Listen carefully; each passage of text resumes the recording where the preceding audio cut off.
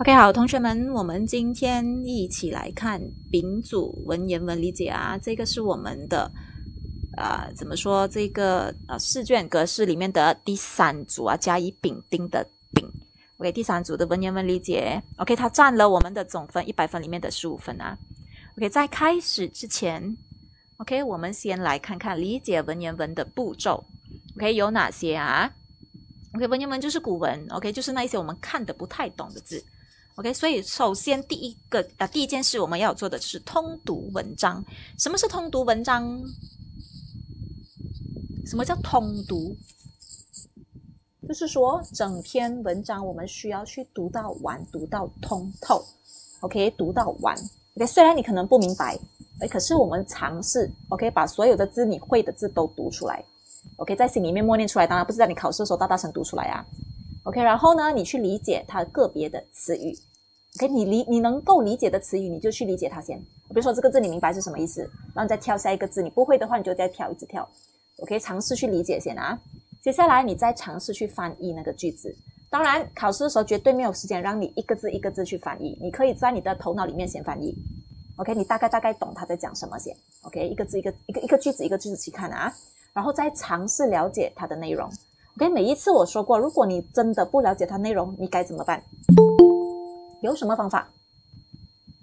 同学们，有什么方法可以帮助你们了解内容？我每一次教中医华文哦，就是我很像感觉在跟空气说话。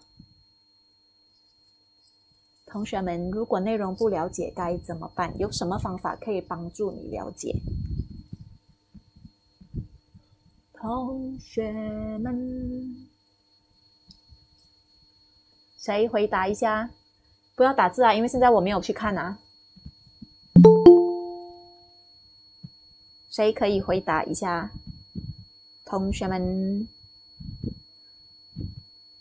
同学们，你们是有听见的吗？啊？哎呀，听不到。怎么样去了解内容？如果万一真的是一个字都看不懂了，还有什么方法可以帮助你们理解？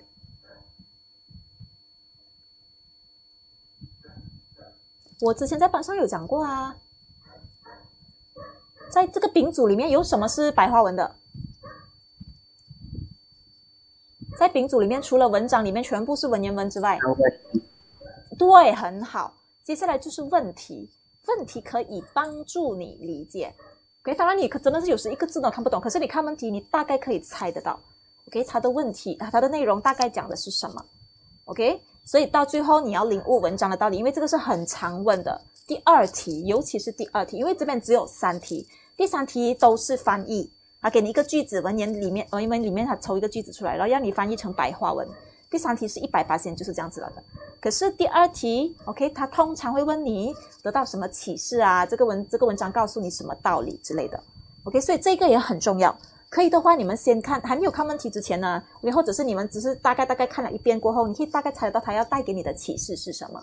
很常问，当然并不是讲一百八先第二题都是问这个啊，他有可能不会问你这个，OK，所以只是很大部分很大的可能他都会问你这个，所以这个。你要这个很重要，OK，所以你通常他给你的文言文呢都是会有带给你一些启示的，会带给你一些启发性的，给给你一些感悟的，他不会无端端给你一篇完全就是人家玩闹的那那那种文章，并不会啊。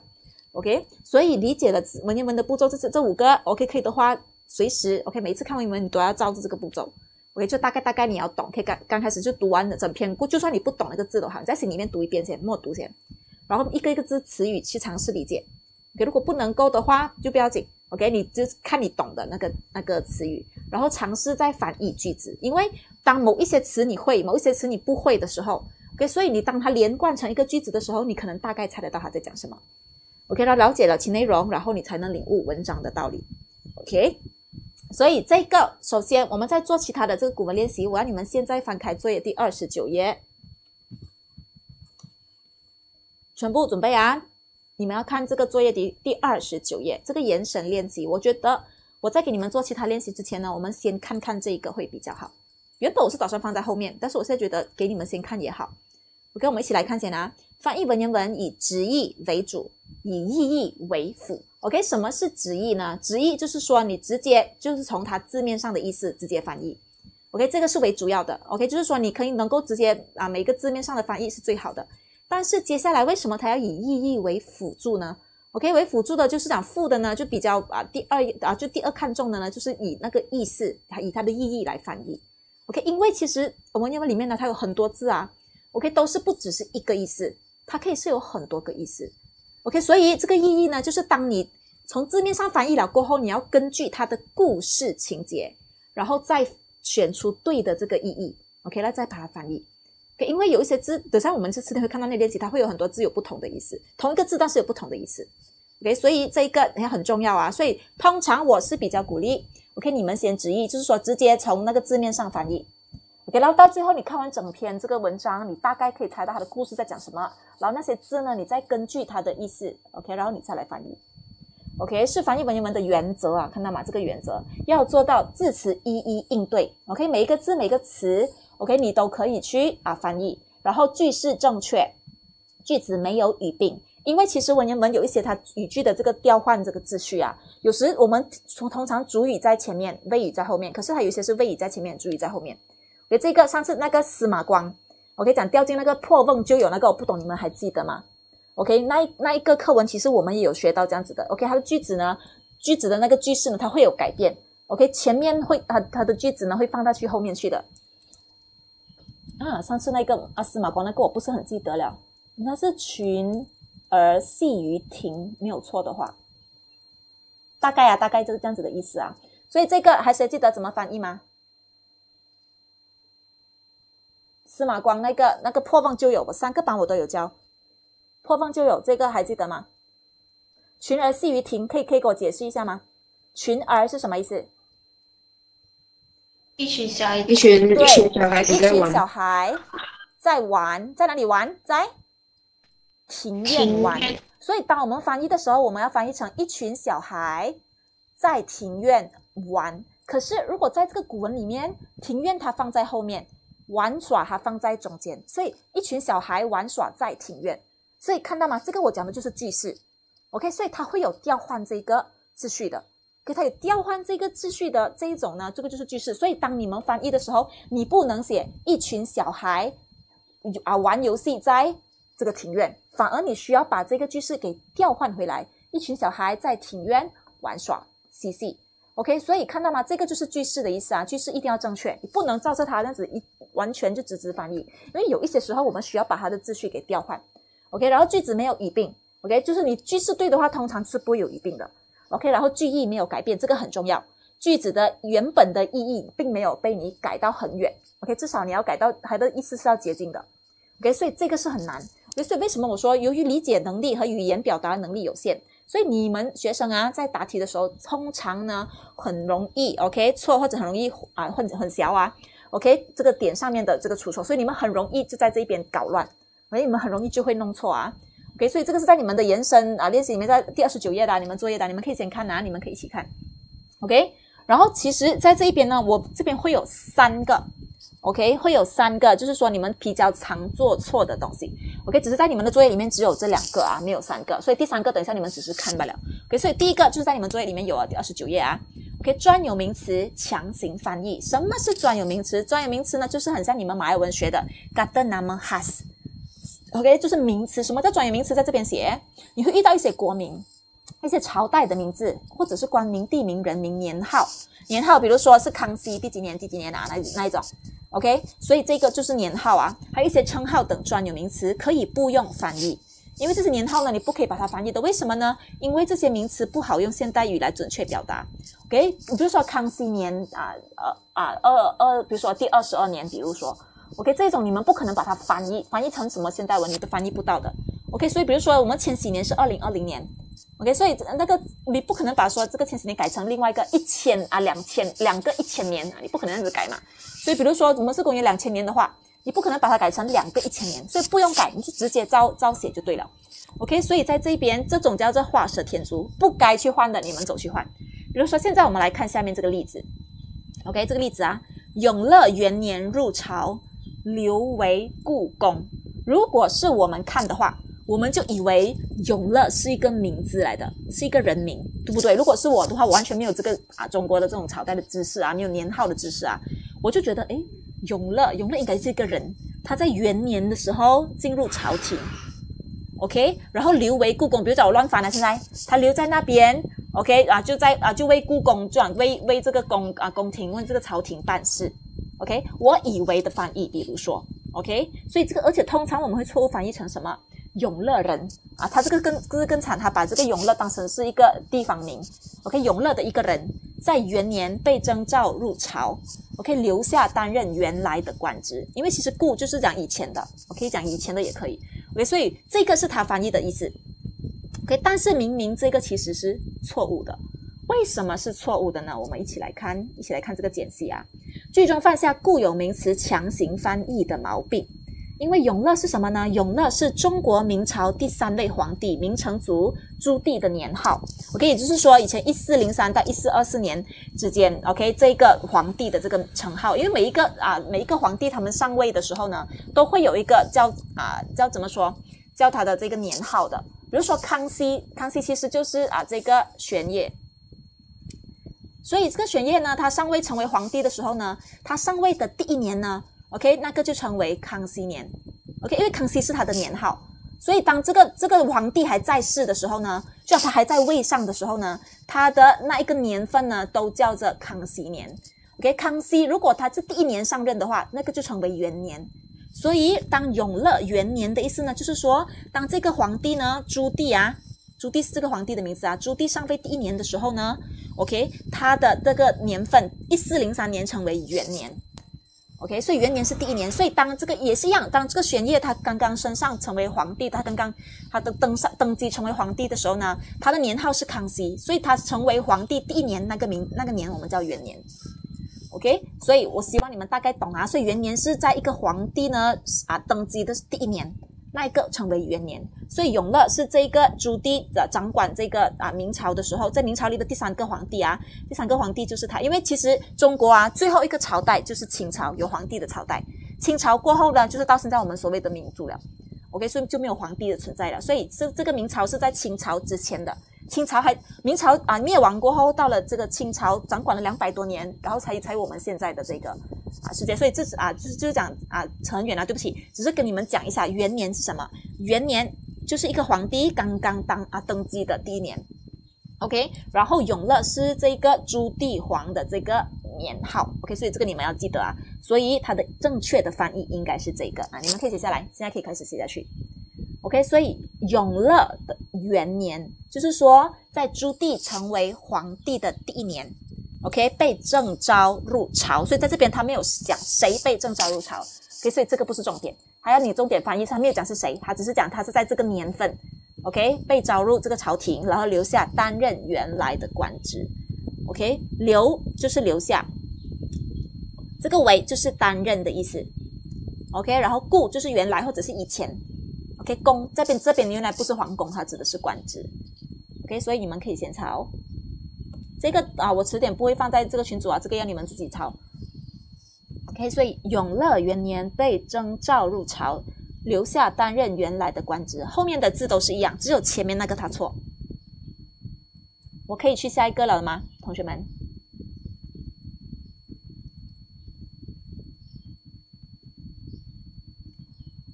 既然没有回应，我就大概大概，总之你们改前面的就可以了，后面的剩下可以照抄之前的。OK，所以可以啦。这个其实我们要懂很多啊。如果你们有兴趣的话，你们可以去看。OK，中国第一个朝朝代是什么？然后最后一个朝代是什么？啊，你们可以去看。OK，所以通常我们知道的大概啦，都是都是清朝，因为其实我们看的皇皇宫的那种戏啊，大概都是大，我们为什么大清王国，对不对？所以我们通常看的都是打清朝的。因为清朝是离我们最近的一个朝代，因为它是最后一个中国的最后一个啊，那个什么有皇的朝代，OK。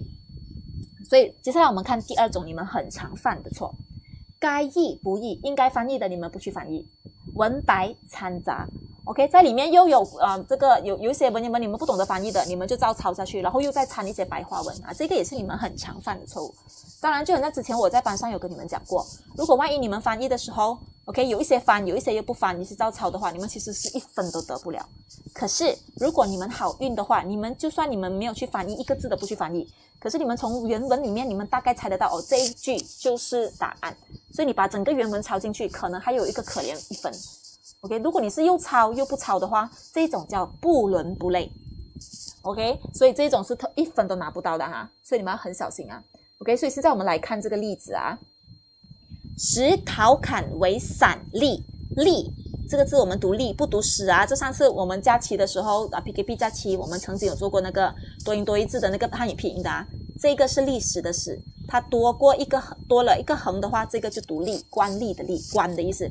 OK，坊间为主簿啊，主簿相与结由，以女妻砍子瞻。这个对很多人来说可能完全看不懂，大概你可能就知道官。然后访可能我们会认为它是拜访的访，OK。然后荐啊，我们知道的是推荐，OK。主部推荐为主部，主部应该就是一个官职吧，OK。相与结友啊，就是说跟他做朋友，OK。这种这个是以我们的角度啊，以学生角度啊，以女妻砍子张啊，这个完全可能你们看不懂，以为砍子张是谁？砍子张说不定就是这个啊，这个这个陶侃的这个孩子我们的名字，但是问题是陶侃姓陶，他的他的孩子呢，大家啊砍子瞻吗？所以看到吗？当你们要翻译的时候，其实你们是完全看不懂的时候，你们可以以用这样子来推断。石陶侃石当时可能认为是当时陶侃是一个人的名字，OK。所以如果陶侃是一个人的名字，如果你讲他的孩子叫陶啊侃子瞻的话，是不是有点怪？因为他姓陶，孩子不可能姓侃啊。OK。所以在这边你可以知道，其实侃指的就是陶侃，子瞻他的孩子名字有一个瞻字的。所以，我们当我们在推断的时候，就是以这样子的这个方式啊。OK，来我们一起看看它这个错误的译文。但是，当我们平时会会这样子啊，怎么说？会这样子去啊翻译的时候，这个是我们很常犯的错误。OK，当时陶侃为闲官，散吏就是闲官。周访，原来周访是一个人的名字，所以为什么这个他会懂呢？其实这个就是因为我们是要看完整个文章，整个古文。可是在这一边，我们当然是看不到，因为他们只有给我们一句，我们完全不懂那个访是谁，对不对？所以其实周访是一个人的名字啊。所以如果你考试的时候，你放心，因为你们的这个古文呢会有划线的。如果人的名字它会有划线的，对不起啊，它会这样子。OK 啊，这样子的话其实就是名字。OK 可以是人名，就专有名词，它可以是人名，可以是地名，可以是署名，可以是什么名字都可以，只是专有名词就对了。OK，所以周访举荐他为主部的官职。OK，与他结交啊，sorry，结为好友，以女儿嫁给陶侃的儿子陶瞻为妻。这个就是类似的翻译。可是为什么他会讲这个是错误的译文呢？我们一起来看，本句犯了该译不译、文白掺杂掺杂的毛毛病。句中为是动词。OK，他讲的是这个为。OK，音译为担任还是这个为？看到吗？这边有担任的话，你觉得哪里一个是属于担任？当时陶侃担任闲官，周访举荐他担任主簿的官职，还是你需需这个为我们完全没有翻译，照抄。OK，所以问题是在哪里呢？应该还有一个就是，对不起啊，刚才我讲的这个是为了过后，接下来还有一个就是他还没有改的，就是这个以女儿。OK，这个乙是什么意思？我们没有翻。通常这些啊比较重要的，我们都会有这个分数。OK，所以我们一起来看，当时陶侃担任闲官，所以为就是担任的意思。除了除了担任，还有什么还有什么字可以代替？同学们，同学们，我如果不写担任的话，我写其他的答案，你们给我讲一下，可能说不定有分。来，谁可以给你的意见？如果那个为你们要怎么翻？如果没有担任的话，胜任对，很好。呃，胜任的话，胜任有点不对，因为胜任是褒义词，担任是一个中性词。胜任就是说他可以，他可以担任，他他很成功的担任。但是现在这个担任是没有意思的，没有讲好坏的，所以不胜任不是很对。可以讲他做。啊，当闲官对呀，你可以讲他当闲官啊，当也是可以有分，OK，因为在这边他担任其实就是当的意思，或者是做选闲官的意思，OK，所以如果是胜任不是很正确啊，因为胜任是完全是讲他完全可以担任，他完全很很成功的担任，OK，只在这边担任的话，他并没有讲他胜任还是不胜任啊，OK，所以这个担任很重要，看到吗？这个“为”字它没有没有翻译啊。OK，然后每一个字，其实如果你们有检查的话，它每一个字都在翻译，除了这些字它没有翻译。OK，而且是这些字都是很重要的。OK，所以举啊，周防举荐，如果我们不要用举荐，我们可以用推荐。OK，他做主部的官职，与他结为好友，并把啊这个，没看到吗？所以刚才那个为做主部，我可以用做，没有关系。如果你这个啊。当啊担任闲官的话，你可以把它称为做闲官也没有错，就像刚我讲的，OK，所以这个为可以是担任或者是做都没有问题，OK，只要你们符合他的意思的意思没有差太远的，就像刚才第一句我们有讲的，意思不要差太远，OK，所以他其实是可以接受的啊，与他结为好友，后面的都可以照抄，除了把这个以变成把，OK，然后单那这个啊。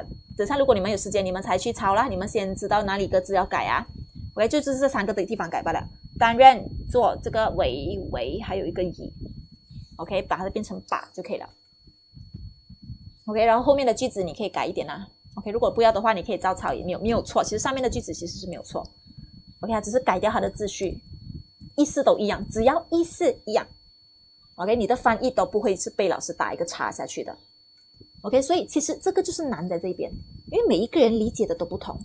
OK，所以为什么我说，其实的首先你要通读这个文章先，就刚我给你们看的那个步骤。OK，因为你们读完了过后，然后你们去尝试明白一个字，你懂得字，你就去明白它先，一个一个词去翻译先。如果再不行的话，你就把这些词你会翻译的跟不会翻译的都不要紧，因为一一整句里面至少有一两个你会的。OK，一两一一两句一两个你会的，然后你把它全部连成一句的话。你就大概可以猜得出他在讲什么，OK，这边就是很最难的地方，OK。但是我不喜我不希望你们会害怕，因为其实我改了古文这么多年，改了考卷这么多年了，我教华文有八年了，OK。你们的十五分啊，哇，很多人都是拿零分、零分、五分、三分，很少人可以拿到十分或者以上，OK。只有最近开始，OK，才有开始一些人可以拿到八分、七分，拿到一半的分数。OK，其实真的是不用紧啦，你们其实算是有进步了，也有可能你们小学有学过。OK，可以啊，我已经我特地讲那么多话，就是为了让你们有时间去抄啊。OK，可以啦，我接下来了啦。OK，这个呢是你们作业里面没有的。OK，可是我也要你们看一下这个是什么，你们可以看罢了啊。今古意义，什么叫今古意义呢？今就是现在的意思，古就是以前的意思，义就是不一样的意思。OK，现在跟以前不一样的意义。OK，以今义结古义，因为有一些字，你看这边，随着社会的进步，很多词语的含义也发生了变化。OK，有的它范围变得很广，有些词语；OK，有的已经缩小，有的啊感情色彩发生了改变，有的以前是褒义词，可能现在变成中性词。OK，有的词义呢已经转移。OK，就是说，这等下我们一起看啊。因此，在翻译的时候，我们要根据它的这个语境，就是说要根据它这个故事的这个走向。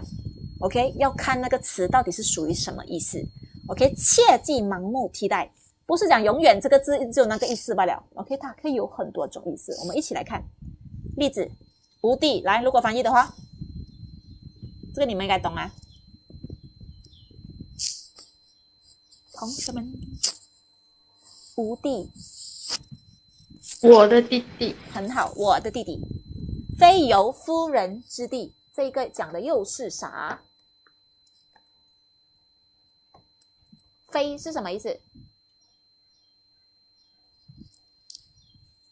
不是，对，不是。OK，或者是不。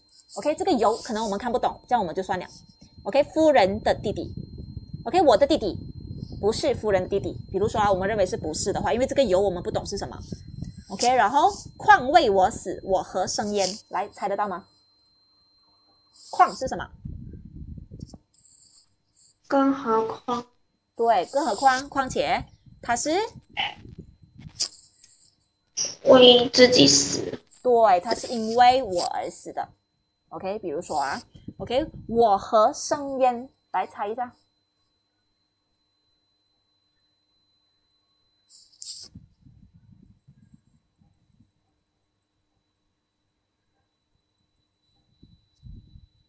他为我而死，更何况他是为我而死的。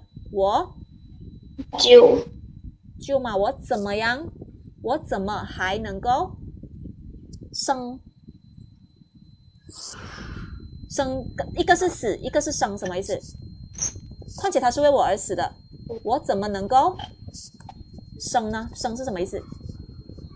我对我怎么能够活着呢？OK，所以这个就是我们大概大概翻译的。OK，我的弟弟不同于哦，原来是非油是不同。OK，如果我们不懂的话没关系。OK，我们就大概改我们讲不是，看到吗？我们看我们翻译了，改这个称为不是。OK，这个是他翻译不同，但是不懂这个对不对呀？我们先看啊，夫人的弟弟，况且他是或者是哦况况且或者是何况啊？OK，他是呃这个是不是是啊？对不起，是啊，这个是啊，为我死的，我怎么还能活着呢？OK，这个是错误的翻译，哪里错了呢？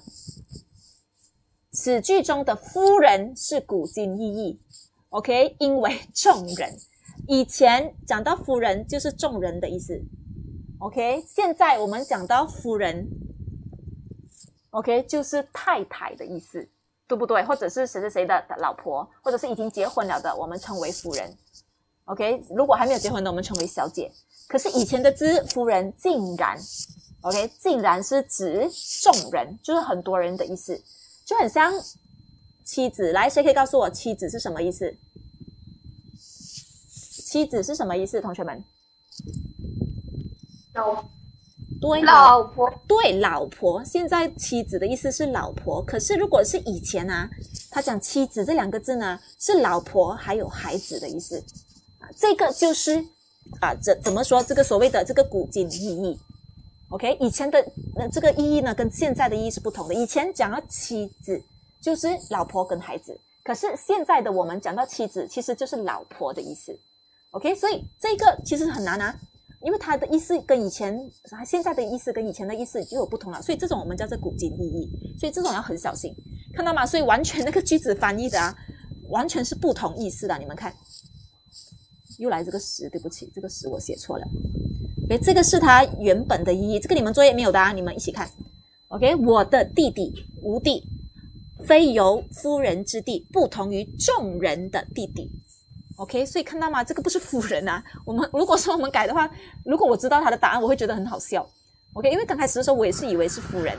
OK，所以更何况他是为我死的，我怎么还能活着呢？OK，所以这一种呢就叫做古今意义。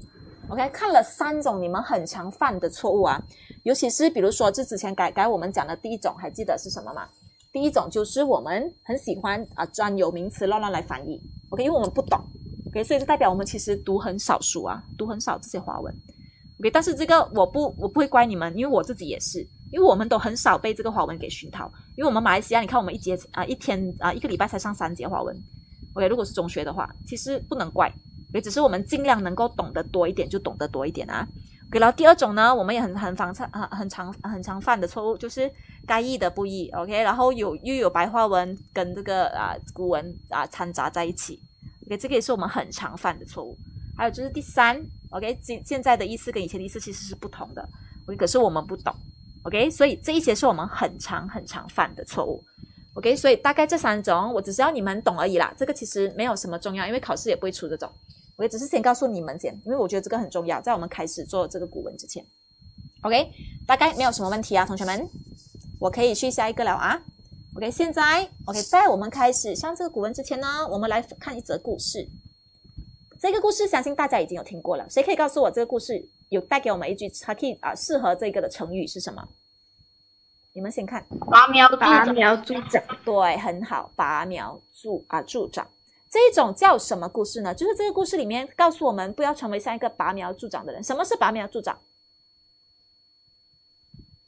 谁可以告诉我什么是拔苗助长？形容一个怎么样的人才才是成为是拔拔苗助长的人？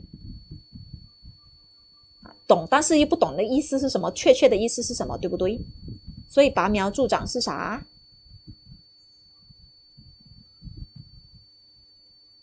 没有人可以回答我，拔苗助长是啥意思嘞？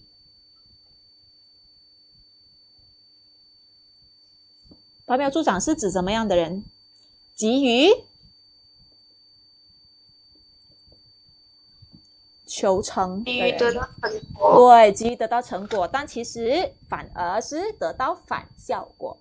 OK，通通常我们用这个拔苗助长来形容这样子的人啊。OK，所以这一种故事呢，当它有告诉我们一些启示，OK，这一种呢，这种我们叫称为寓言故事。OK，所以寓言故事是含有讽喻或明显教训意义的故事，不是每个故事都可以成为寓言故事，但是只要它有一点教育意义的话呢，它就是寓言故事，它是文学题材的一种啊。给结构简短，多用借喻手法。借喻手法就是说，他 sorry，借喻手法呢，就是说他把这个故事里面这个人，OK，这个很急急着要让这个树苗长大的这个人，你这种接着这个人的这个啊作为这行为，来告诉我们做人千万不能这样，不然我们会怎么样怎么样？这个就叫做借喻。OK，使富有教训意义的主题或深刻的道理在简单的故事中体现。所以很简单的一个字的，就要急于求成的人，但是结果是反效果的哈。OK，所以今天我们直接来看。一则又另外一则寓言故事，这个也是一个寓言故事。OK，你们看作业第二十二页啊，全部可以看作业第二十二页，准备好你们的笔。OK，按顺序排列下面的句子，整理成一篇完整的古文。首先看完每一句，你认为这个故事第一句应该是哪句？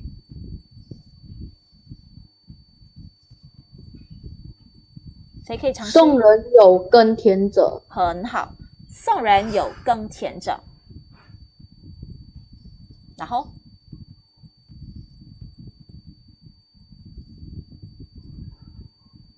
猜没关系。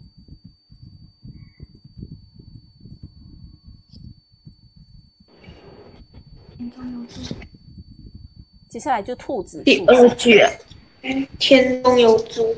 对，田中有猪，兔走触猪，折颈而死。接下来第三句，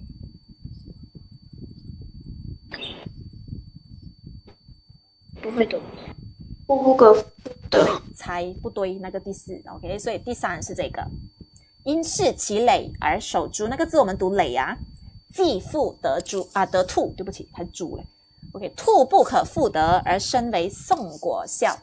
OK，可能有一些字看得懂，有一些你们看不懂。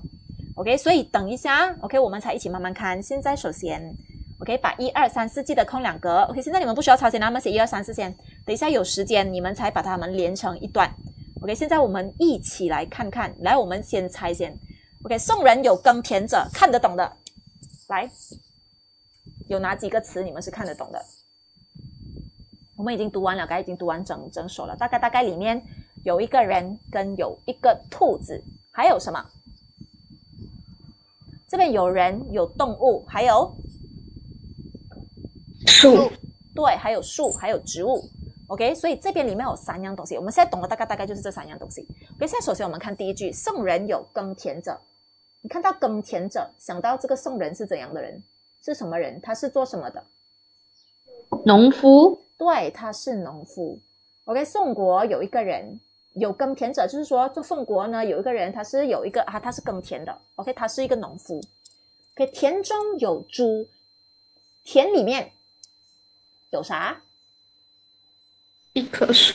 对，就是一树，OK，就可以讲可以讲是树啦，OK，OK，所以兔走触猪，OK，在这边，兔子在走的时候，OK，比如这这照字面上解释啊，我们现在是从这个字义先啊。兔如果它在走的时候，触触是什么意思？这个触是什么意思？碰到，对，碰到或者是撞到这个树。OK，这个竹我们当成是树先啊。折颈而死，它怎么死的？撞树死了。对，撞树死的，怎么死法？折折颈死了。什么叫折颈？这个呃，颈项断掉死掉了。对，他撞树的时候，那个颈撞到树了，而且就这样子死掉了。OK，所以然后因是其累而守株，继父得兔。这一句谁看得懂？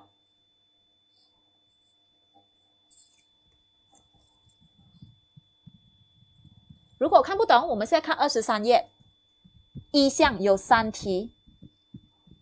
问题，或者是 D 项有上面，或者二十三页那边有全部有问题的，你可以猜一下什么叫因视其累而守株，继父得兔。我们尝试从问题里面，从白话文的问题里面找出来这一句是什么意思。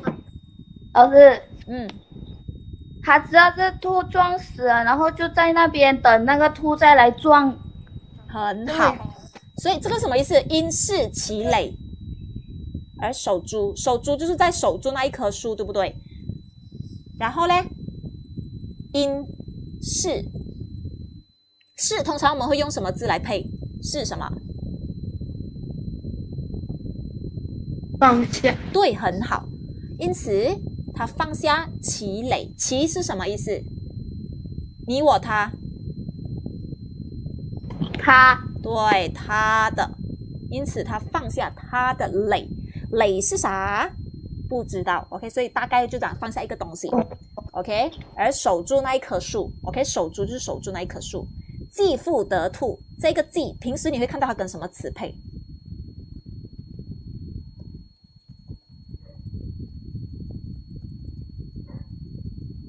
什么是 c 记？它的跟这个冀是一样意思的。你看到这个 c，你想到什么？在这个故事里面，对，很好。OK，这个就是我们在尝根据这个语语境啊，我们来尝试去猜它的意思。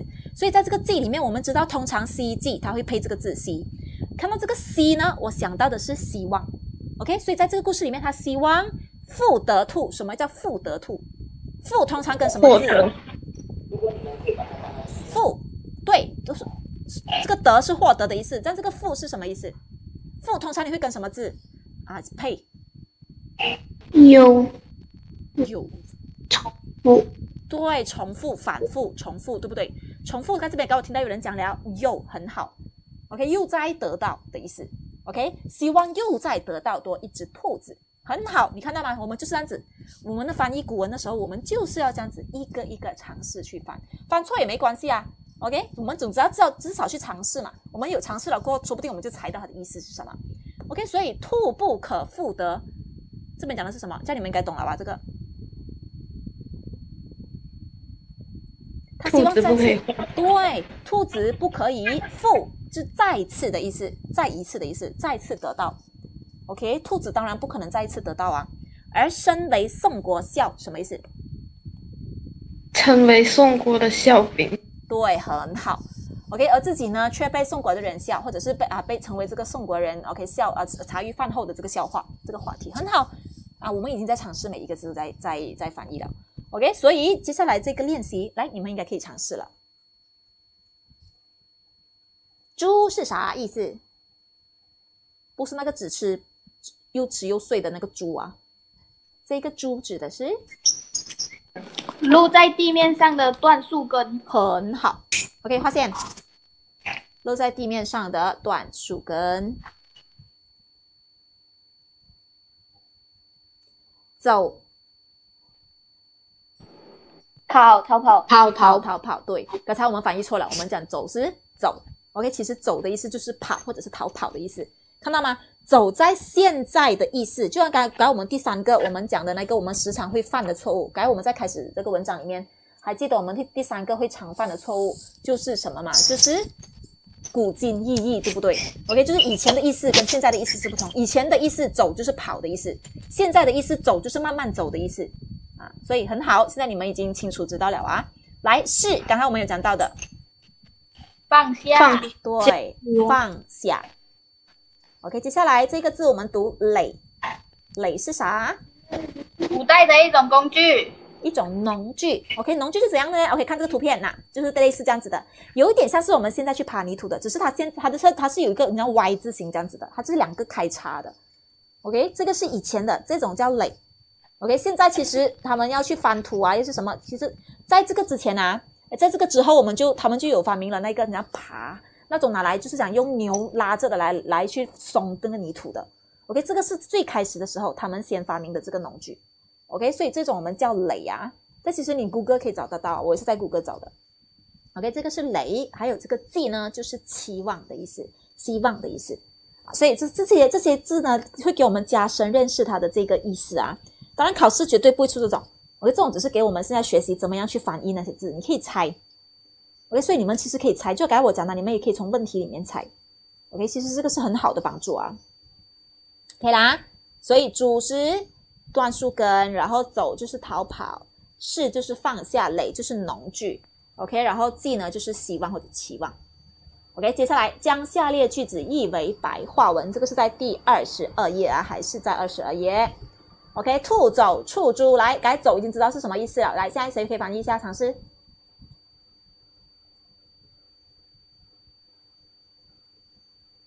同学们，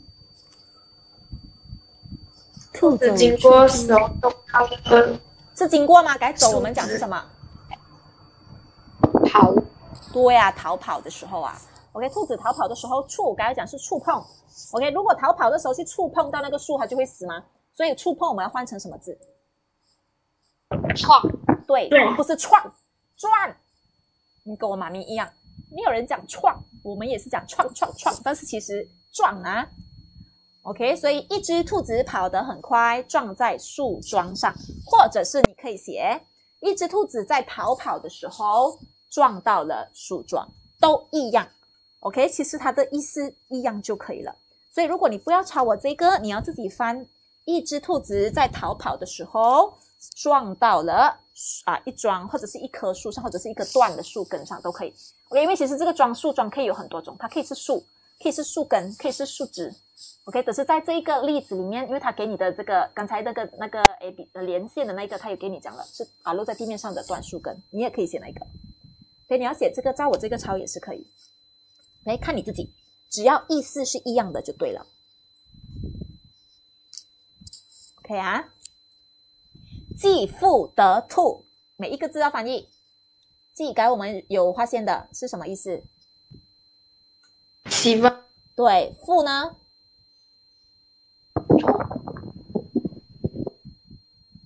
富忘记了。重复。重复，你不可能讲希望重复得到一只兔子啊。得了一只，对，又或者是还，或者是再次，对不对？OK，所以希望再得到一只兔子，你可以写再次得到，或者是希望还得到，OK，还能再得到，OK，这算是用再会比较适合用这个再，OK，如果你不可能写希望反复得到一只兔子吧，是不是怪怪的？所以我们要斟酌那个语境，我们要看那个语境，要看它的那个语句。OK，什么是适合的，什么是不适合的？希望再得到一只兔子。如果你们来不及抄，没关系啊，等一下我会整理好过后，我全部会放上去。接下来，而身为宋国孝，OK，这个就是而他自己却被宋啊宋国人耻笑。OK，如果就像刚才刚才是雪晶讲的对吗？成为这个啊宋国的笑柄，其实也是可以。OK。因为我刚开始的时候，我也是像啊雪晶这样子讲，我是觉得他是我我翻译的时候，我试做的时候啊，我是我是写是笑柄，可是他竟然这样子写，我就因为这是作业的答案，我就跟他的呗。但是如果是像刚才这样子讲，而自己却被宋国啊，sorry，而自己却成为了宋国的笑柄，OK，这个也可以，也可以接受，因为它都是一样的，被宋国人耻笑就是成为笑柄啊，就是每每个人在笑他。OK，可以啊。接下来我们一起看这个，根据 A 项的文言文，OK，选出正确的答案。来，第一题，A、B、C、D。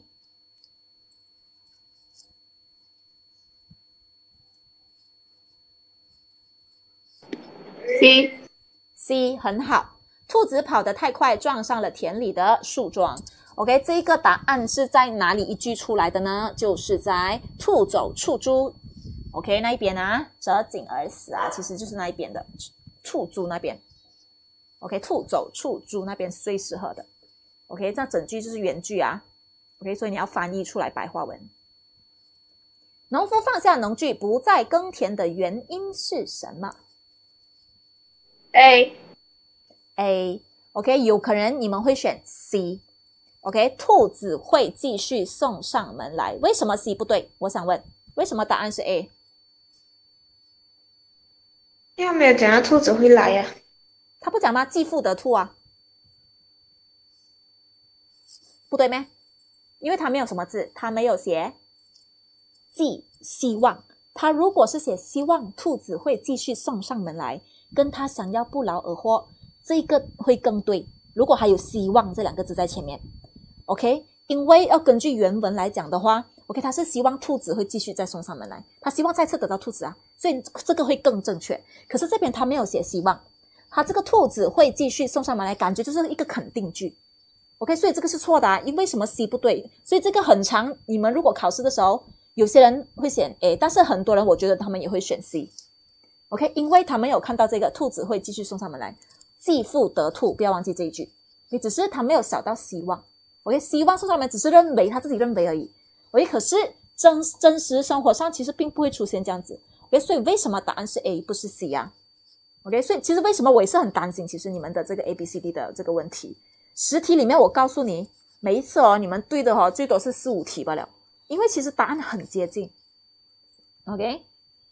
来第三题，这个应该直接有答案了。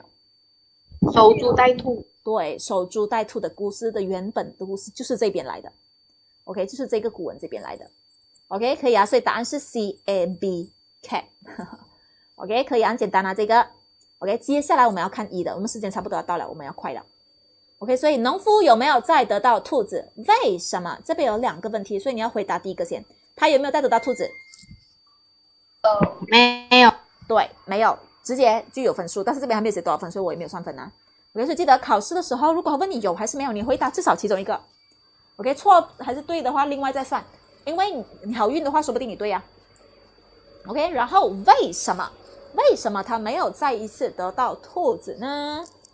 因为兔子撞树撞而死是偶然的，不是必然的。OK，你可以先写啊。OK，如果是你们的回答，你们可能会写到。因为不可能每一只兔子都去撞撞树的，啊，这个也是可以满分。OK，但是你不要啊放进去啦，你不要给我口语化，你就想，因为不是每一只兔子都会撞树撞而死。OK，你可以要这样子写，这样子的话也是可以有满满的分数。OK，只是这个句子它比较呃怎么说比较正式一点。OK，只是我们考试绝对写不出这样子的东西，对不对？连我也不例外。OK。所以是偶然，不是必然的。这个呢，其实就是跟你们写的那个句子，你们可以写啊。因为兔子不是不是，因为不是每一只兔子都会撞树而死，有时是撞它撞到那边的树撞而死。OK，都可以，只要意思有接近这个偶然跟必然的，我都可以给满分。OK，可以啊。接下来这个故事给我们什么启示？第一个，做人要脚踏实地，不要心存侥幸。OK，或者还有别的答案啊？你们选一个来写。做人不可以太懒，不要想着不劳而获。或者是人不能贪得无厌，不然会因小失大。你选其中一个来写就可以了。OK，所以其中一个也是会有妈妈一启示只需要一个就好。OK，因为这边最重要是告诉我们不要像这个里面的这个人这样子。OK，很他很有可能啊，真是两两头空。他坐在那边等兔子，他没有去翻土，他过了可以插秧的季节，到最后他一整年都是吃泥土。我跟你讲。哎，如果是以前的人，他们其实如果是农夫，他们通常就是种这个稻，因为田嘛，田都是种稻的。他去种稻，如果这次他过了插秧的季节，他明天又在等待等那个兔，后天又在等那个兔，因为兔子它可以拿来吃它的肉啊，如果它的皮啊，可能拿来可以来保暖还是怎么样啊？OK，所以他觉得这样子等一分钱也不用花，OK 是一个很划算的事情。可是他没有想到，万一等不到哎，他又没有肉吃。连稻田他也没有去下田，他也没有去插秧。过了这个季节，等到他去插秧要播种的时候，已经太迟了。所以他一整年什么都等不到，他可能会饿死。OK，所以这种人是一个怎么样的人？你认为农夫是一个怎么样的人？不懂得变通的人啊，对不起，不懂得变通的人。OK，为什么会这样子讲呢？如果你讲他是一个想不劳而获的人，可能会拿不到满分。OK。因为这个，他最主要的是你要讲给我告告诉我知道他的这个啊性格，他的这个纠结点到底在哪里？OK，他其实我们纠结的就是在他的哪里的地方呢？就是他明知道兔子不是一定每一次得到的，OK，为什么他就不把这个兔当兔子的，就是当成是一个加这样一个一个 bonus，一个怎么说？一个一个特一个一个一个特别，就是说，比如说他今天如果得到兔子，他的他今天吃的饭就可以加那个兔子肉。就是说，他今天得到兔子，他就今天又多了一点一些额外的收获。你为什么他就不勤勤恳恳的去种稻，然后一面种稻，他也可以一面等这个兔子啊？没有关系啊，因为兔子反正种到那边都是直接死了，对不对？OK，它死了，它都不会动了的。你也可以等等你下完田过后，你去松完那个泥土过后，你才回来拿这只兔子也很好啊。OK，所以他是一个不懂得变通的人。如果谁他是写他只是想要一个，他只他是一个不劳而获的人，你们得不到满分啊。OK，他最主要是要这个不懂得变通。OK，因为如果他是一个聪明的人，他懂得变通的人，他一定会在那边，要不然就自己设计一个一个篮子。OK，如果兔子一撞那个树，它会直接撞进那个篮子里面，它直接死在它的篮子里面。OK，残忍是残忍了一点啦。OK，可以吗，同学们？有问题吗？可以啊。